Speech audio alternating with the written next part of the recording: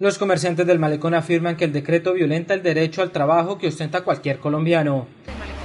Bueno, pues yo hace muchos años trabajo en este sector y por lo consiguiente casi con frecuencia nos están molestando por ese motivo, el cual creo que de pronto nos pueden estar quitando el derecho del trabajo que tiene todo colombiano.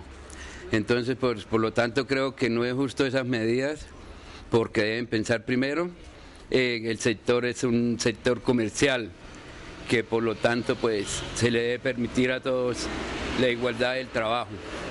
Aseguran a su vez que el parqueo de vehículos y las reparaciones son momentáneas, continuando el flujo vehicular que no llegan a incomodar el paso. Hacen unos mantenimientos, pero tampoco no es que los carros vayan a quedar ahí obstaculizando el paso, no.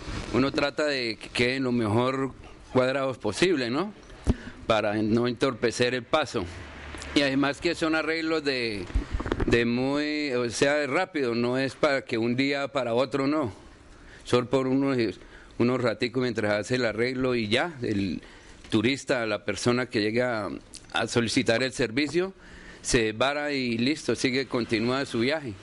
Aseguran los comerciantes que la medida es un atropello contra los comerciantes que llevan muchos años ejerciendo su labor en este lugar. Fíjense ustedes, es un atropello contra nosotros. Yo en este sector llevo más de 30 años de estar trabajando. ¿Y cómo va a ser posible que nos vayan a atropellar de esa manera?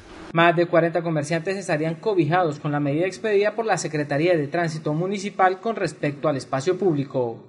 Pues en este sector del malecón funcionan creo que más o menos como unos 40 comerciantes que todos vivimos de, de, cuadrar el carro ahí al frente, sea para venta de un repuesto, sea para un arreglo de algo, sea para los que cargan y descargan el café, bueno, para las motos, para todo eso que son locales que son pequeños y no se puede ir a meter los carros al local porque entonces si se hace una cosa no se puede hacer la otra.